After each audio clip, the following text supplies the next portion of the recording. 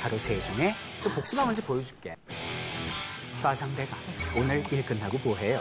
복숭아 안 돼요. 조셉의 운명은 어떻게 전개될지 궁금하시지요?